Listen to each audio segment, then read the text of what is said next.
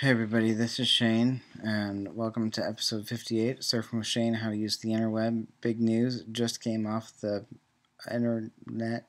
Um, Apple stock is going to split. I'm an Apple fan. I'm on a MacBook Pro right now, and I have many other web videos about it.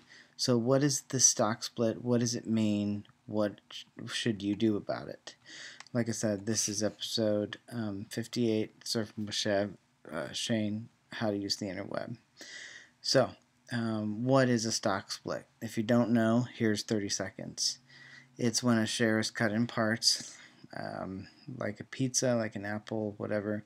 If you have one share, it may split into two different pieces. So, if your share is a $100 share and it splits two shares for one, then you're going to have two shares that are equal $50 each.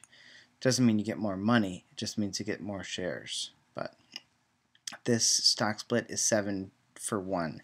So if you have set, I forgot a parentheses there. Um, if you have seven shares of Apple, if you have one share of Apple stock, you'll now have seven.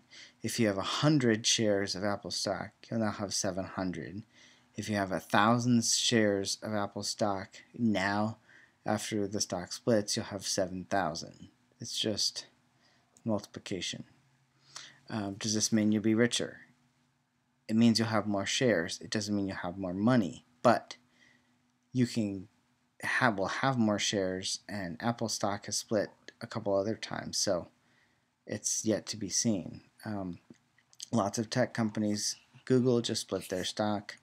Um, there's other companies that split stocks, and you know if you bought one share of General Electric back in the whenever they invented electricity, then you probably would have a hundred thousand shares now.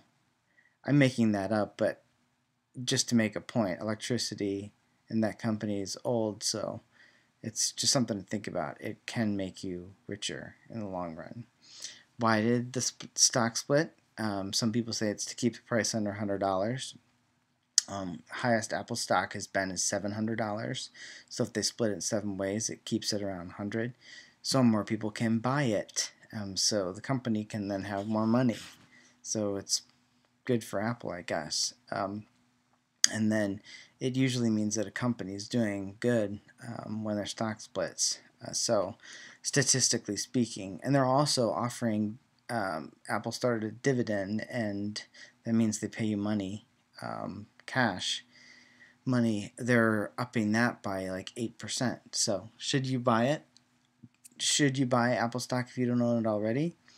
Pro- I don't know. Um, but uh, if you already own it, you're going to have more shares. So, leave the questions, comments, um, financial advice. Uh, just disclaimer I'm not a financial institution.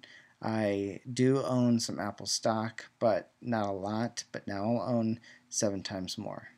This is Surfing with Shane. How to use the interweb. Please share, subscribe, all that good stuff. Thanks.